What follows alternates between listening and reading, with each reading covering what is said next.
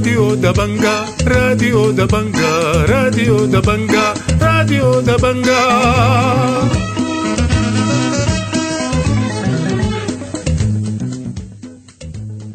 أهلا ومرحبا بكم مستمعي راديو دبنجا الأعزاء في برنامجنا اليوم الاثنين الموافق 15 نوفمبر عام 2021 برنامجنا بيشتمل على نشرة الأخبار وبرامج أخرى متفرقة ولكن في البداية حنقدم لكم نشرة الأخبار وإليكم عناوينها.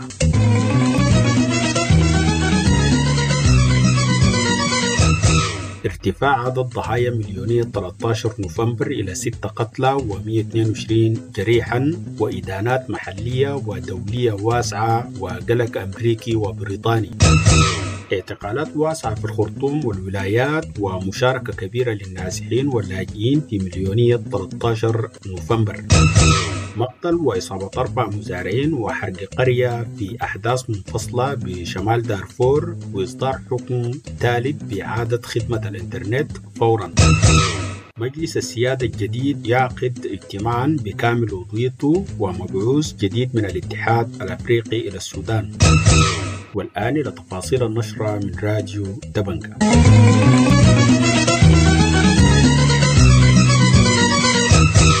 ارتفع عدد ضحايا مليونية 13 نوفمبر في الخرطوم إلى ستة قتلى بعد وفاة مجاهد محمد فرح 15 سنة صباح الأحد بمستشفى شرق النيل متأثرا بإصابته بالرصاص الحي في البطن والفخذ. وقالت لجنة أطباء السودان في بيان أن عدد القتلى المحصورين منذ 25 أكتوبر ارتفع إلى 21 شخصا. من جانبها قالت رابطة الأطباء الاشتراكيين أن قتلى مليونية 13 نوفمبر هم عبد الحميد عبد الكريم 31 سنة والشيخ خاطر 19 سنة ومحمد أبو بكر 35 سنة ومزمل محمد نور 15 سنة ومحمد عثمان الطيب 19 سنة بجانب مجاهد محمد فرح. وأوضحت أن عدد المصابين خلال المليونية في الخرطوم السبت بلغ 122 شخصا في خمس مستشفيات هي مستشفى الأربعين ومستشفى مدرمان ومستشفى شرق النيل ورويال كير وإبراهيم مالك. وأضاف أحد المصابين في هذا الخصوص. السلام ما ما عسكري لا لا ثلاثة مارس فيها الفساد ومارس فيها الظلم والتعمى وغطس بين الأرض سجلنا امام العالم مفروض علينا حصار سياسي وحصار اقتصادي اعتقلت الأجهزة الأمنية بأم درمان أكثر من 100 شخص بينهم 18 فتاة في مظاهرات 13 نوفمبر يوم السبت وتعرض المعتقلين للضرب المبرح وحلاقة شعورهم على يد الأجهزة الأمنية قبل اقتيادهم إلى القسم الأوسط أم درمان. وقالت قيادات في لجان المقاومة لراجو دبنجا أن الأجهزة الأمنية استخدمت القوى المفرطة في مواجهة المتظاهرين مستخدمة الرصاص والقنابل الصوتية والغاز المسيل للدموع والحراوات وأوضحوا أن المعتقلين من الشباب يتجاوز عددهم 85 شاب و18 فتاة جميعهم محتجزين في القسم الأوسط بأم درمان بينما أطلق سراح خمسة من الفتيات في وقت متأخر من مساء السبت. وأكدت قيادات لجان المقاومة في إفاداتهم لراجو دبنجا أن الأجهزة الأمنية التي واجهت المتظاهرين تستقل مركبات الدعم السريع وبكاسي الأجهزة الأمنية بدون لوحات وترتدي زي الشرطة. كشف ناشطون من الخرطوم عن اعتقالات واسعة وسط المتظاهرين في مليونية 13 نوفمبر. من جهتها وصفت لجنة أحياء بحري ما جرى في بحري مساء السبت بأنه حصار كامل مع إطلاق الرصاص الحي مصحوبة بمداهمات لبعض المنازل واعتقالات عشوائية. ووصفت ما جرى بأنه نفس أساليب نظام الإنقاذ في أيامه الأخيرة. وفي مدينة كسلة كشف ناشطون عن اعتقال خمسة متظاهرين خلال مليونية 13 نوفمبر. أما في القضارب فقد بلغ عدد المعتقلين 12 وكانت السلطات شنت حملة اعتقالات واسعة في سنجا قبيل مليونية 13 نوفمبر وأضاف مواطن من سنجا في هذا الخصوص. اللواء العطا أو اللواء بتاع سنجا بتاع حامية سنجا اسمه اللواء العطا. بيمارس الضغط شديد جدا على الأولاد بتاع المقاومة دي وحتى جنوده بيتلفوا في البيوت يعني. أيوه. يعني بيتلفوا في البيوت عشان يعتقلون لما ما يلقوا يشيلوا موبايلاتهم وكده. ويحلقوا للأولاد. عدد المعتقلين من أولاد المقاومة عدد كبير جدا لدرجة إنه ما قادرين نحصرهم كم. حد أمس أعلنت شبكة الجزيرة اعتقال مدير مكتبة بالخرطوم المسلم الكباشي من منزله صباح الأحد وطلبت بالإفراج عنه فورا محملة السلطات العسكرية المسؤولية عن سلامة جميع طاقمها في السودان.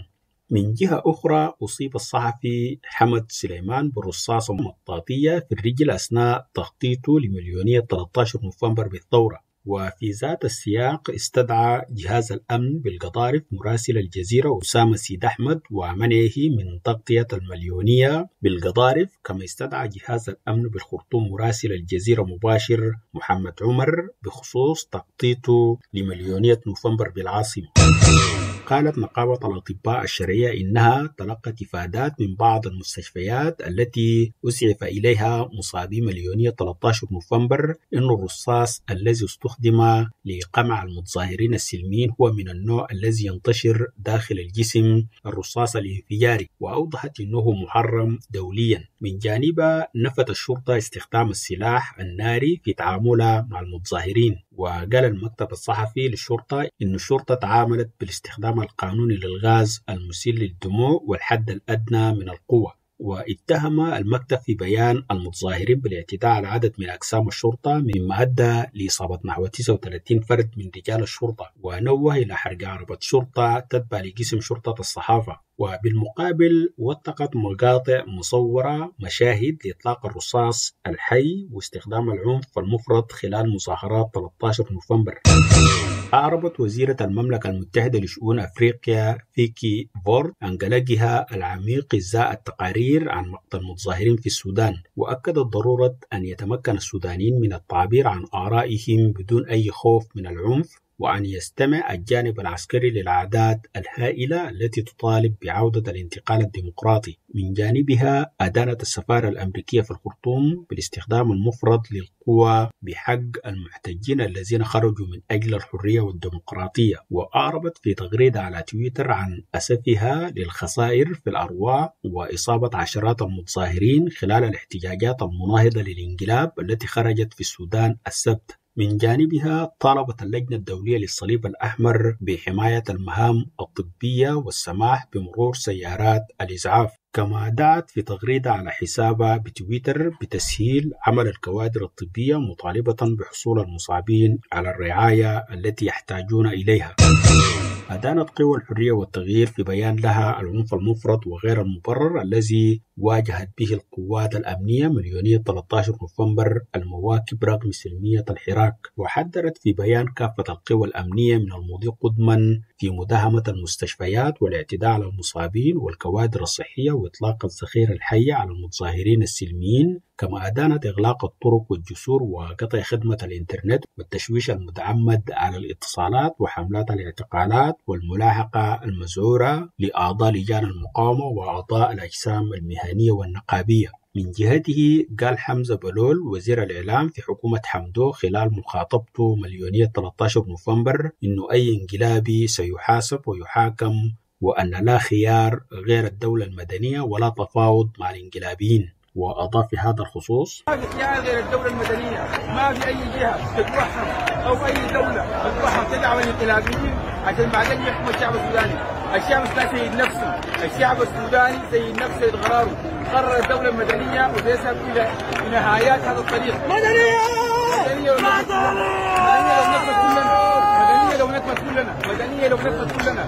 ما في دانة عسكرية ما في ما تفاوض مع الانقلابيين الانقلابيين حنقاومهم إلا أن ننتهي منه وينتهوا مننا مدنية خيار الشعب السوداني من جانبه أعلن تجمع اللجان التسييرية والتمهيدية للنقابات والاتحادات المهنية الإضراب لمدة يومين دعما للإصيان المدني الذي أعلنته القوى الثورية. ودعت 17 من الكيانات الصيدلية في الخرطوم والولايات لمواصلة التصعيد الثوري والدخول في عصيان مدني شامل وبصورة تامة في جميع مرافق العمل الحكومية منها والخاصة بسبب الانتهاكات الصارخة. أدانت 11 من الأجسام المهنية والنقابية العنف الذي مارسته السلطات في مواجهة مليونية 13 نوفمبر السلمية. كما أدانت الأجسام من بين التحالف الديمقراطي للمحامين ولجان الصيادلة والمختبرات العنف الذي يتعرض له الأطباء. والكوادر الصحية بالمستشفيات من قبل الأجهزة ومحاولة إثنائهم عن أداة واجبهم كما نددت بالإذلال الذي يتعرض له الجرحى والمصابين في الطرقات المؤدية لمراكز الخدمات العلاجية والمستشفيات ومنعهم من الوصول إليها. من جهته وصف تجمع المهنيين السودانيين ما جرى في مليونية 13 نوفمبر بأنه مجزرة جديدة واعتبره يرقى لدرجة الجرائم ضد الإنسانية التي يعاقب عليها القانون السوداني والمواثيق الدولية. ونؤكد لكل المشاركين فيها إنهم مرصودين وسيتم تقديمهم للمحاكمات العاجلة والناجزة. أعلنت محكمة الخرطوم الجزئية رفضها الأسباب المقدمة من شركة زين بخصوص عدم تنفيذ أمر إعادة خدمة الإنترنت إلى المشتركين فورا. إلى حين الانتهاء من الفصل في دعوى التعويض وقال مولانا طارق عبد اللطيف محمد قاضي المحكمة في ثالث حكم بخصوص إعادة الإنترنت الأحد يظل الأمر بإعادة خدمة الإنترنت على جميع المشتركين ساريا. وكانت شركة الاتصالات امتنعت عن إعادة خدمة الإنترنت بحجة عدم تضمن الحكم الذي صدر الخميس كلمة فورا. وكان رئيس جمعية حماية المستهلك الدكتور ياسر مرغني قال إنهم سيلجؤون للمطالبة بإصدار أوامر قبض في مواجهة مديري الشركات في حال عدم تنفيذ إعادة الإنترنت لجميع المستخدمين. وأضاف الدكتور ياسر مرغني في هذا الخصوص والله حتى الآن الشركات لم تنفذ. الآن المستشار القانوني ذكر لي أنه ذاهب للمحكمة لأنه شركات الاتصالات قالت أنها لن تنفذ لأن كلمه فورا غير واردة في هذا الحكم. وهذا تحايل وهذا تماهي من الشركات الاتصالات مع مع السلطة الإنقلابية وأكل أموال المستهلكين بالباطل حتى الأحد الصباح لأنه تعلم إنه يوم الجمعة والسبت اجازه في السودان. يوم الأحد الصباح إذا لم تجعل الإنترنت سنطالب كجمعية بإصدار أوامر قبض ضد مدراء الشركات.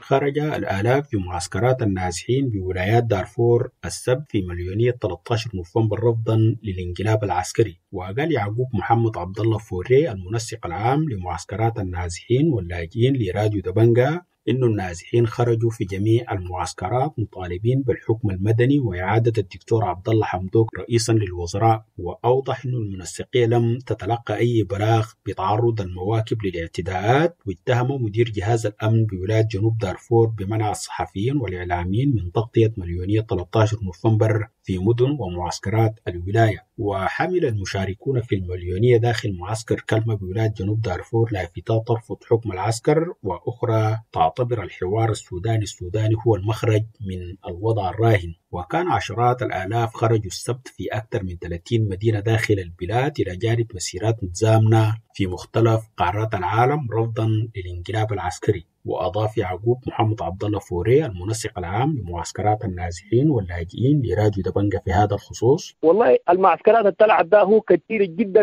من بينهم معسكر كلمة بالتحديد أنا بتحدث حاليا فيه. عندك العطاش وعندك معسكر كاس وديل في جنوب دارفور وباقي المعسكرات. عندك في نرتتي وعندك في حميدية وعندك في خمسة دقائق وعندك في تور كولمي وعندك في حصاحيسة وعندك في رونغتاس دي عبارة يعني وهناك كمان ناس كبكبية وال هناك ناس أبشوك ويعني إنه الم... يعني إنه أنا كلامنا كلنا.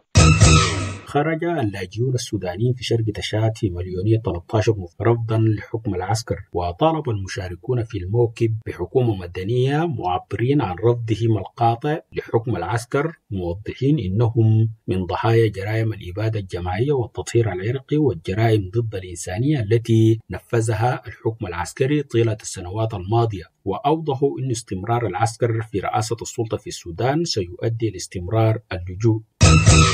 اشتكى مواطنون من استمرار أعمال القتل وحرق القرى والاعتداءات في محليتي طويلة ودار السلام بولاية شمال دارفور. وكشف مواطنون لراديو دبنجا عن مقتل اثنين من المزارعين مساء السبت برصاص مسلحين على ظهور جمال في منطقتي طرودي جنوب مرتال بمحلية طويلة. وأوضحوا أنه خمسة من المسلحين هاجموا مزرعة بالقرب من المنطقة وأطلقوا النار على المزارعين إبراهيم يعقوب حامد 45 عام وآدم حارون زكريا 37 عام واردهما قتيلين في الحال. وفي ذات السياق أحرق سبعة مسلحين جميع المنازل في منطقة منجرتنا جنوب تابت مما أدى إلى فرار جميع الأسر البالغ عددها 15 أسرة إلى منطقة كداريك. وفي محلية دار السلام هاجم مسلحون أراضي زراعية بالقرب من وادي مرة وجرجيرة وأطلقوا النار على المزارعين مما أدى لإصابة اثنين منهم وأدخل المسلحون الماشية في المزارع.